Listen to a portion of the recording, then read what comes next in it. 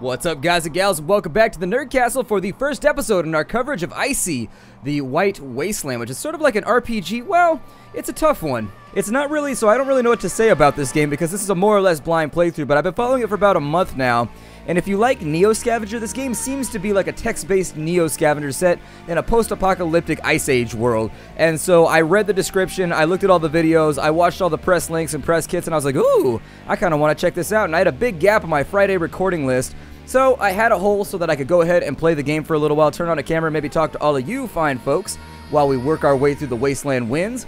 And so I figured it'll be interesting. If it ends up not being interesting, we can just do a couple episodes like an extended impression series, and then we'll move on to something else. But if it ends up like really sort of catching our fancy, I guess we'll stick it on out. I do enjoy sticking it out. It is a fun thing to do. So let's go to new game. There it is. Okay, so We've started off with a default portrait here. That's the look that every girl at the bar gives me when I sit down next to her, like instantly, like, uh, are you kidding me? So let's go through some of these portraits right here and see what's up. Okay, so we got like a couple different hairstyles. Got a couple different outfits. That's pretty cool. For the male character, what do we have going on? Alright, so it looks like we got kind of like Inuit Eskimo fashion going on with everybody. He's got a new Ushanka. That's pretty cool. Is that how it's pronounced? Ushanka? Ushanka? I don't know how to say it. Either way, my dad has one that's made out of like wolf pelts from Russia or something like that. It was a wedding gift he got like 25 years ago. 35? 4, I don't know. I'm getting older and I've lost track of time. That's one of the weird things about getting more ancient is that you just like lose track of time and you can't count properly anymore. I'm going to go with this one just because I like the look on her face. Are you serious? Right. All right, calm down. I'll move to another bar stool. God. So, we've got stats here and I assume these are probably going to dictate how we play the game. We've got body. It's our overall fitness, so I guess this encompasses both dexterity and strength, HP, and how much we can carry, okay? Mind is going to represent our smarts, cunnings, clevers, all those sorts of things that we can pluralize. Sounds good. Oh, it gives us experience, too. That's pretty cool. And then word represents the charisma and social attitude of the character. It affects the relationship with the party, and it's useful in any situation. We have a party? No way. Oh, I love parties. Parties are the best parties get off the hook once I get there. I'll be like, yeah, standing on a chair, do a little dance, got a 40 up in me. Anyways, let's go to, got melee.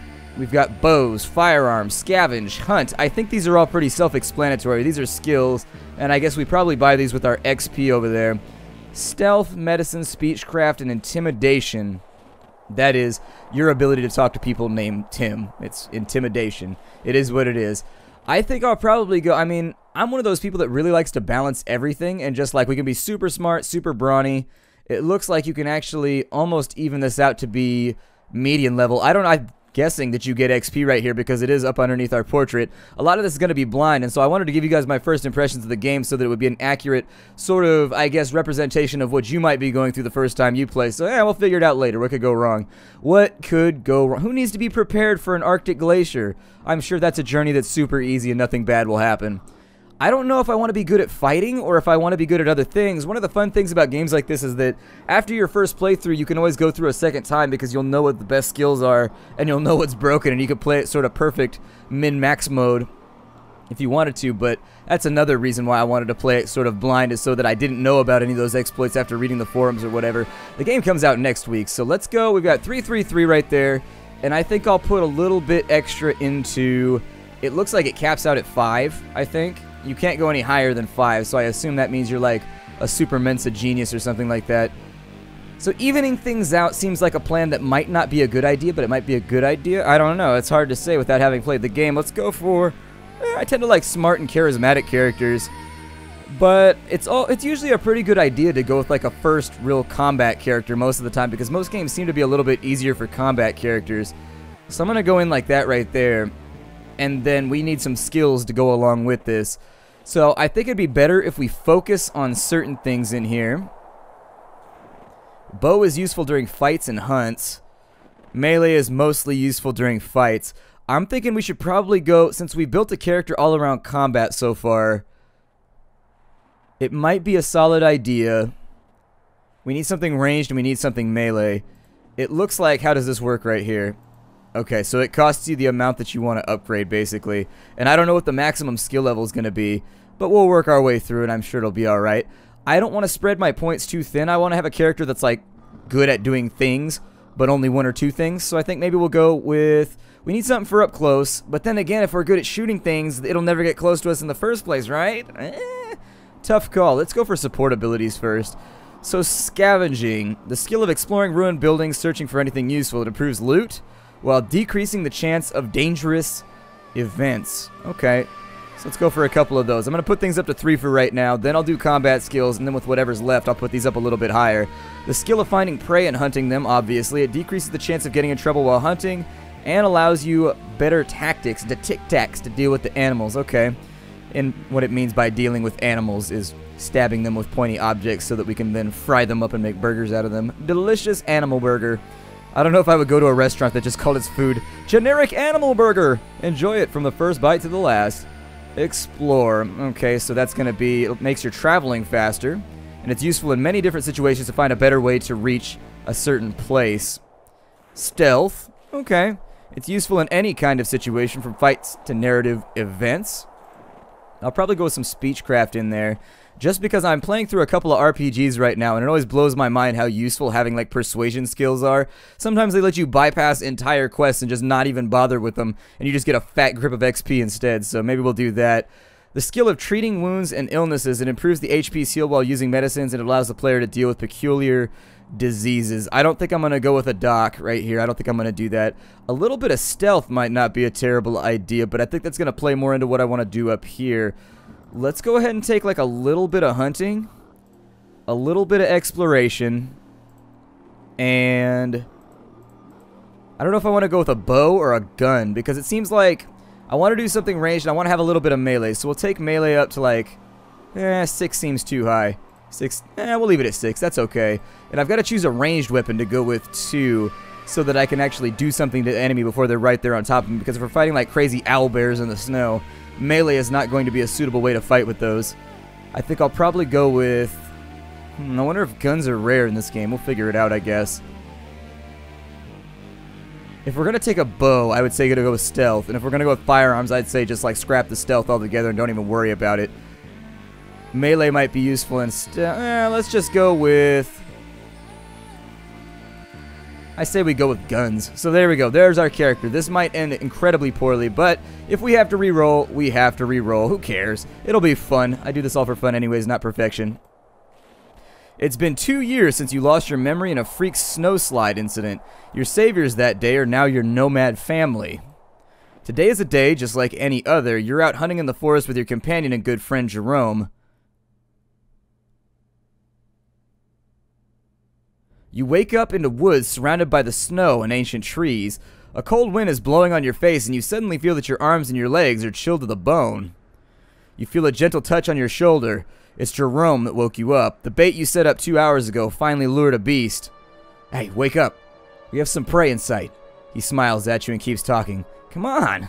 Don't be lazy. Wake the fuck up. You still feel confused, and the white glowing snow dazzles you, but you soon manage to get on your feet. The old man is watching you with a friendly smile, just waiting for your brain to start working again properly.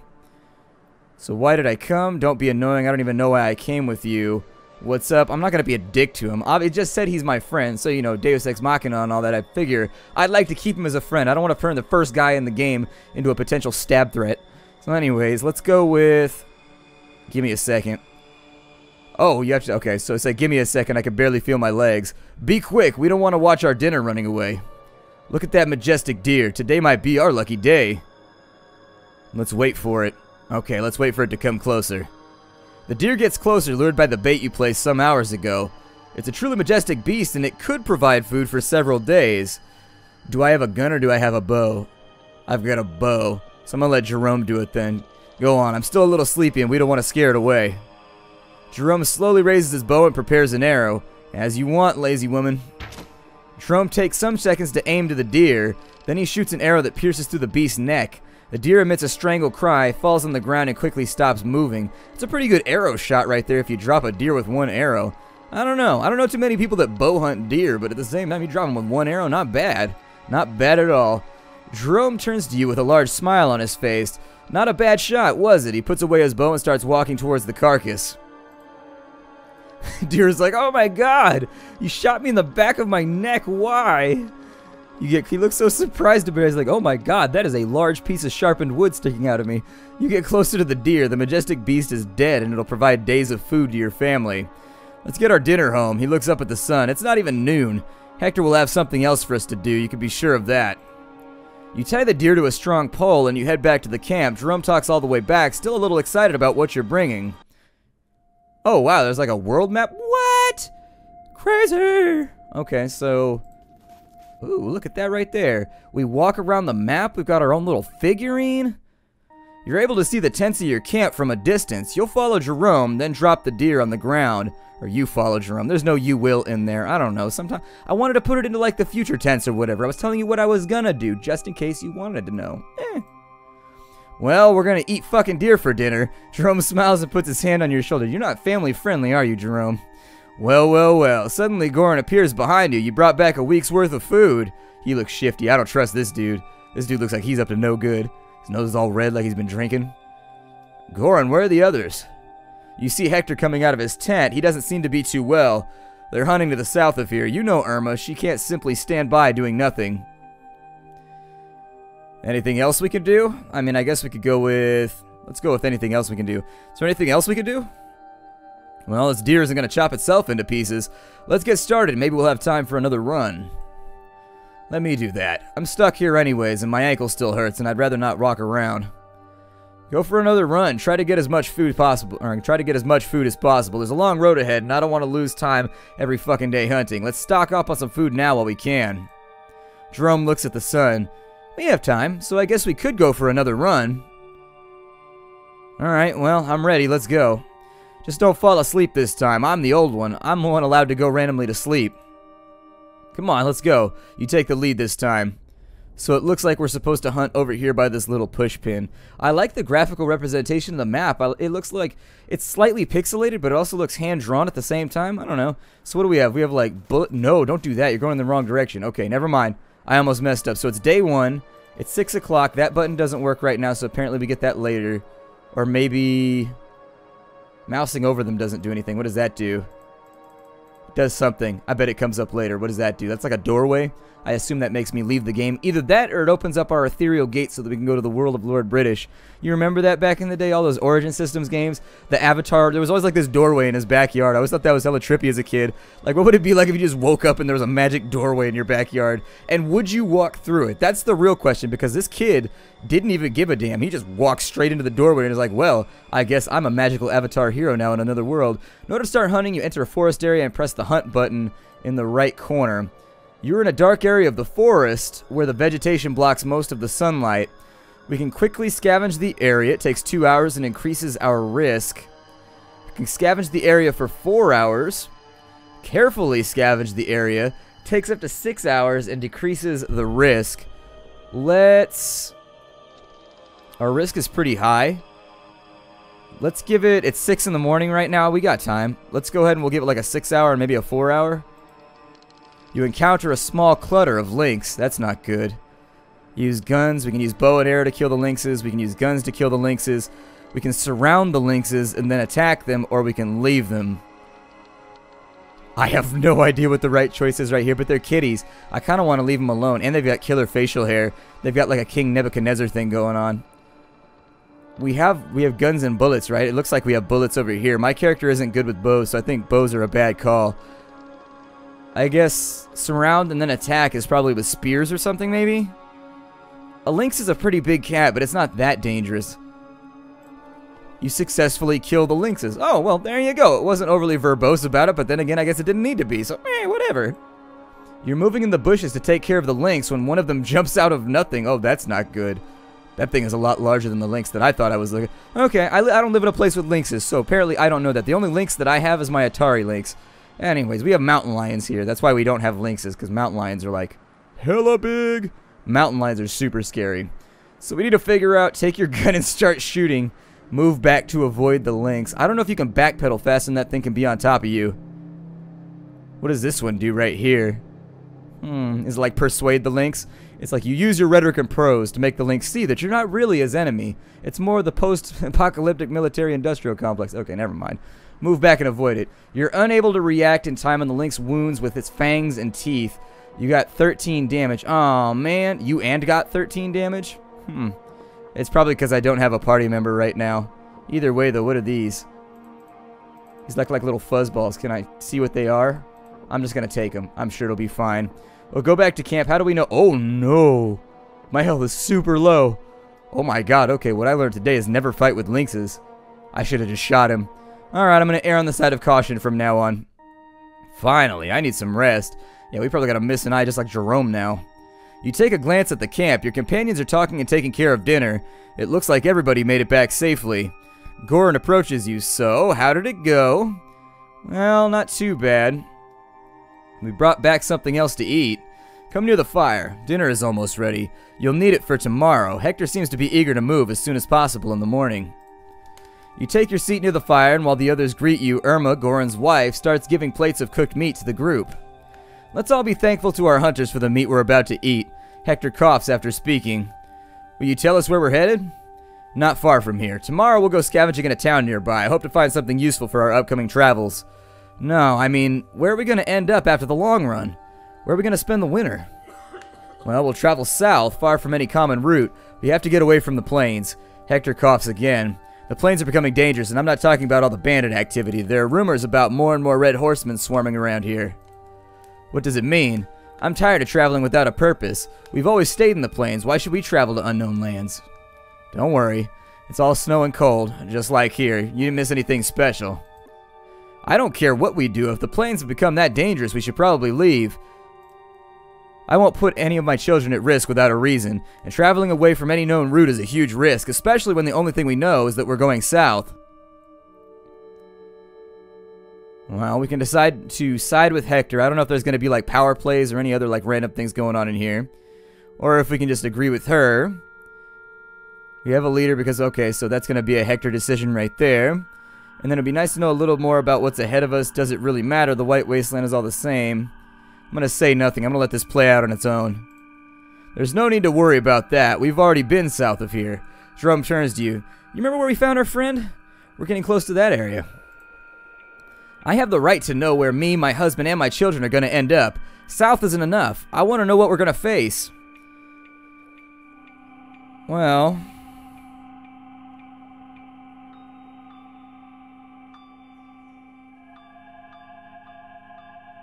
I guess we'll go with then what. I mean, I am interested in figuring out what the chronological series of events is going to be here. Gotta decide if I gotta buy new, some new snow boots. I don't know. And then what? We'll keep walking? We'll spend the winter here? Exactly. It'll be a hard winter if we have to spend it walking on the mantle. I don't want to do that. I have two children. Hector seems quite annoyed. I already said that the plains are becoming dangerous. You don't want a Red Horseman clan to attack us and enslave the survivors, do you? It's better to walk on the mantle for an entire winter than face them. The sooner we run away, the safer we'll be. So we have no other choice than running away without a proper plan? These are hard. Okay, I'm not going to do that one. That's not good. Well, we'll figure out what to do. If the plains are actually becoming dangerous, we have no other choice than run away. That's what I thought. I'm not eager to walk on unknown routes either, but at least we won't have to face the Red Horsemen. Am I the only one with a working brain around here? We'll be running into the unknown. Well, we can say you're just afraid, so we can call her Yeller. Or we can say it's not up to her to decide what's best for everybody. What's unknown is better than certain death. I'll probably go with that one. The unknown is better than certain death. At this point, this is the safest option. Yeah, because nobody ever got killed because he didn't know what he was going out to a face, or because no one ever got killed because he didn't know what he was about to face. Do as you like, but I already know we'll all regret this. Irma goes inside her tent before giving everybody the chance to, or before giving anybody the chance to say anything. I'll talk to her. I'm worried too, but facing the Red Horseman scares me even more. She'll understand eventually. Hector coughs a little before replying. I hope so. I don't want to discuss this ever again. Nothing of importance happens during the rest of the evening. You eventually go to bed and prepare yourself for the next day. You wake up in the morning, hear some voices outside. Hector and the others are preparing the plan for the day. Alright, people. Now we're going to spread out in pairs and search for anything useful in that small town over there. Especially be on the lookout for any tools. Irma will stay here with the children and guard our stuff. If anything happens, you scream. I'll go with Jerome. Goran, you'll go with Mark. Hector turns to you, and you will go with Demetra. I hope it won't be a waste of time. Goran puts on his backpack. I'm tired of seeing only empty buildings. Is there anything in particular we need? Tools and anything we can sell or use, but I won't complain if you bring back an assault rifle. Ask about the area. It's a little ancient town, so there's a lot of buildings. I hope to find something to scavenge, something left behind. Okay. Let's depart then and get this thing going. Demetra nods at you. I'll follow your lead. Ooh, she looks rough and tumble. I like her on my team. She's got a big old pearl necklace, though. I don't know what that is. It might just be like a weird pearlescent knob. I don't know. So that's where we're going. We're going to church right now. Fantastic. Time to get our pray. My health is really low. Like, if anything goes wrong here, I'm not feeling confident about my abilities to survive. You find a small town. I'm going to carefully scavenge and lower the risk a whole bunch because our health is really, really low. I thought we were going to heal overnight, but I guess we don't. You find an apartment barely standing despite the damages it suffered. Its stairs are collapsed. So if we had a grappling hook, it looks like we could climb. We could try to climb to the upper floors. Eh. Exploration is only three. I don't know how that's going to go. And then we got to climb down afterwards, I bet. I'll probably let that one go. You couldn't get into the apartment. While exploring, you hear something growling. It's a wolf scared by your presence. I'll probably shoot it. You shoot a single bullet and the wolf runs away scared. So it looks like we found a cooking pot. That's better than getting bit when I have 2 HP. So that sounds really, really awesome. We've got some more little furbles and then it looks like we got a cooking pot. Let's take it. Can we still scavenge here? do we have to go back afterwards? Oh, we have to get back before sunset. Okay. So yeah, it's basically, I mean, it's 12 o'clock. After a couple hours, you manage to reach the others at the camp. Goran spots you from from a distance and greets you by raising his hand. You can see the sadness on his face. What's going on? That's not easy to say. Goran takes a deep breath. Hector is badly sick. He passed out a few hours ago and he's in his tent, barely able to breathe. Will he survive? The situation is desperate. We have no medicine to cure this kind of sickness, and he's pretty bad now. You see Jerome coming out from Hector's tent, his face painted with suffering. As far as you know, he and Hector have been good friends for a long time. People gather around Hector's tent as Mark finally asks about him. How is he? In that same moment, Irma comes out of the tent. Jerome sighs. It's over. We couldn't do anything. Holy fuck. Why didn't he say a thing about his health? You know Hector, he wanted us to get away from the plains and he didn't want anything to stop us. Goran stays silent for a few moments, then he raises his head and speaks again. I'll prepare the body for the funeral. You should go and take a break. People scatter around while Jerome comes near you and sighs again. You two are now alone. I met Hector more than 20 years ago, and yet he said nothing, not to anyone, not even me. He just died, leaving a mess behind. Tomorrow we'll need to vote for our new leader, and it will be a mess. Everyone will discuss it, and I bet Irma will go crazy again, screaming and threatening people. Well, we'll get through this. We will, as we always do, but it won't be easy. Rough times are ahead of us. I need to be alone. Call me when Goran is finished with the pyre. Jerome walks away and sits alone not far from the camp. After some time, you are called by Demetra. Everything is ready for the funeral. Everyone gathers around a big stack of wood. After making sure that everybody is here, Goran throws a lit torch on the pyre which slowly starts to burn, shrouding Hector's body in a dance of bright flames. Jerome has a sad face and says nothing. He just stands in front of the pyre and stays there even after everybody else is gone. You're tired and you proceed to your tent hoping to get a decent night's sleep, but a terrible scream wakes you up in the middle of the night.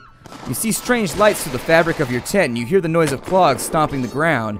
You hear guns firing as well. Also, the clink of lovely cutlery. They're just, they're a traveling band of chefs that wanted to make dinner for us. They're horsebound chefs. You are under attack. Well, never mind. My hypothesis was totally wrong. During the night, your group gets attacked by mysterious bandits. So we can fall back or we can fight in melee. I'm pretty good at melee. Like, I don't want to... I mean, we do have bullets and we have grenades and stuff, too. Let's fight in melee. Let's do it. Ow, no! Enemies receive minus 31 HP and minus 6 morale points. Minus 49 for us and minus 10. I don't know if we could win that one to begin with. Yikes, you see an enemy running away from the fight. Take him down with a shot. You successfully shoot the enemy down. Enemies receive minus 5 HP. And I think this is the balance of power right here. I think I'll fall back for a second. Enemies receive zero. Oh, they hit us even though we were running? Oh my god. You feel weak and aching. You try to crawl on the ground, but with each movement you feel the pain all over your body. You try to stay awake, but soon your willpower weakens and you pass out. After that, there's only darkness. You don't know how long you stay unconscious. Strange dreams populate your rest, dreams of a different place and of a different time. You see a shiny tower going towards the sky, technology you've never seen in the White Wasteland, technology belonging to an ancient world which fell apart. During the dream, you hear a familiar voice. It's Jerome and he's calling you, asking you to wake up. You finally realize you're dreaming, and this sudden consciousness brings you back to the waking world. Hey, wake up. You alright? My head hurts, my body too, but I think I'll survive. That's good. We're in a bad situation. You better be ready for anything. You look around. The morning sun blinds you at first, and then you're able to see that you and your mates are sitting on the ground tied. You're not the only prisoners, and there are other people that seem to share your condition. Armed bandits are guarding the area. You can see many tents scattered around, and it's difficult to understand how many they are. Running away from them won't be easy. They have guns and everything else they need to keep us in our place. You will never escape. We tried, but they are too many. They have horses and guns, and if they want us alive, I fear we will all soon become slaves. Well, now they have to keep their eyes on more people, and it won't be hard for us to find an opening. I won't be beaten again just because someone... Well, I won't be beaten again... wow, that's a weird word. I won't be beaten again just because you want to do something stupid is what it should say. Anyway, there's a lot of typos in here. They beat all of us, Joseph, but what should we do? Just wait here to be sold as slaves? Long story short, we tried to run away during the night. They found us and then beat the shit out of us. End of the story, so that's why you smell the way you do. Well, we'll have our chance. They can't keep the watch on us every second of every day. There are way too many of us to be easily controlled. Unless you have a freaking genius idea, I'd like to not get beaten again too. Screw you, I'd rather die than be a slave. We're leaving. I don't know how, but we're leaving. The stranger smiles slightly. Sure, I'm really curious to see what you will do. A bandit approaches you and starts screaming. Shut the fuck up, all of you. We're moving now. Prepare yourself, it's gonna be a long walk. You and all the other prisoners start walking with your hands tied along the bandits' caravan. They constantly watch you and you're unable to find a way to break free. Day after day, you become resigned to your destiny. The bandits constantly watch over you and don't even allow you to talk amongst yourselves. You barely get to know the ones who share your destiny. Carlos and April are a couple, and they were in the same group with Joseph when they got attacked and kidnapped. There's a young girl, Eva. She seems sad and never speaks. The only thing you're able to discover is the bandits killed her family. But finally, after walking for several days through the White Plains, something happens. The bad thing is that it doesn't look like something good. Not at all. I think this is where I'm going to break off the episode. So my name is Splattercat. Thank you for joining me here for the first episode of Icy, the White Wasteland. My name is Splattercat. Very happy to have you here today. I figure we'll do a couple more episodes. I'm intrigued right now. You know, it's got a lot of like grammatical and typo things, but honestly, I want to see what the game is like once we can free roam around and do whatever we want, because it seems like it's going to do sort of a Neo Scavenger thing, or maybe along the lines of something like, oh, I don't know.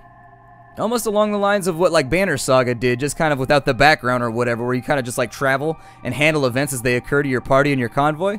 This might turn out to be pretty cool. We'll check it out tomorrow. I'll see y'all there. Hi to everybody.